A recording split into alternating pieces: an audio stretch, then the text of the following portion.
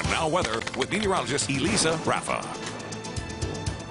It's been an active morning here with locally heavy rain and lots of lightning. This is a shot on I-44. You can see the heavy rain making conditions pretty hard to see. And then look at that lightning. Uh, we've had multiple lightning strikes uh, this morning. Yesterday, some lightning strikes actually hit home. So hazardous weather today. If we take a look at the radar, uh, you can see we do have lots of locally heavy rain and lightning. We've got a couple of warnings in effect. A severe thunderstorm warning in effect for Greene County does include the north side of Springfield for quarter size hail there. We also have a flash flood warning that was just added uh, for Christian, Greene, and Lawrence and Stone counties. Three inches of rain has already fallen in the Springfield area, and uh, we'll likely see more. So we could see some flash flooding conditions expected pretty shortly. We also continue a flash flood warning until 11:15 this morning up around Bolivar and Walnut Grove. Three inches of rain down there too, and the same story for Barton, Cherokee, Crawford, and Jasper counties.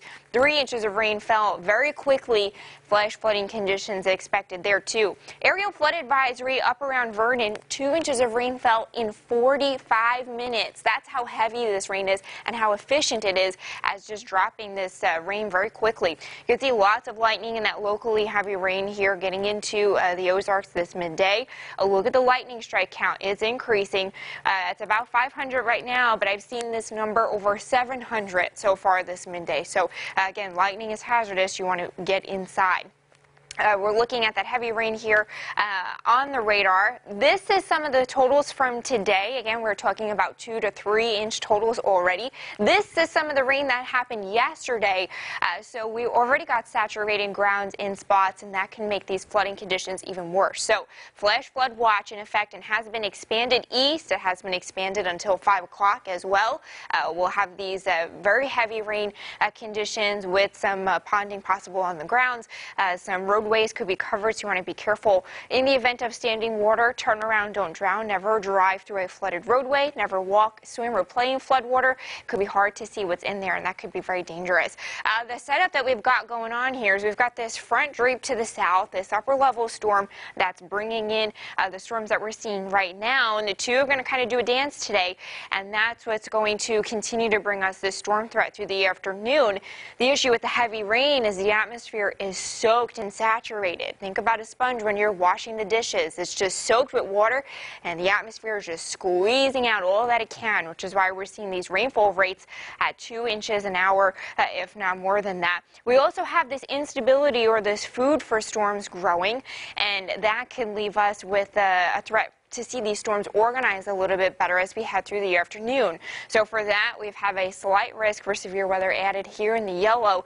In the yellow, we could see these storms organize into a little bit more of a line, and that's where we'll have a damaging wind threat on top of the heavy rain threat as we head through the afternoon. So what we're again, we're tracking here today, very, very low tornado threat.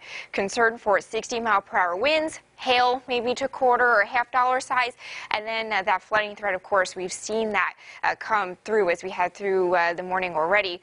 These storms pushing to the east, if they form into a line, that's where we'll have that damaging wind threat. Notice the temperatures uh, around 80 degrees on the cool side, and of course the heavy rain in those reds and oranges there. Uh, these storms exit to the south and east by about 6, 7, 8 o'clock. We should be drier this evening and the, through the overnight, and then by tomorrow we'll keep an isolated storm chance up to the north. The rest of us stay dry with temperatures warmer in the middle and upper 80s.